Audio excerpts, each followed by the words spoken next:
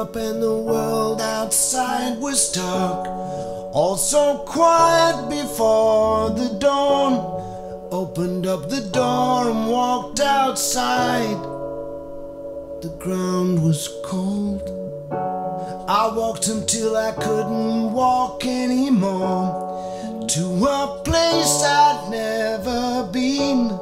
There was something stirring in the air in front of me. I could see more than this, more than this, so much more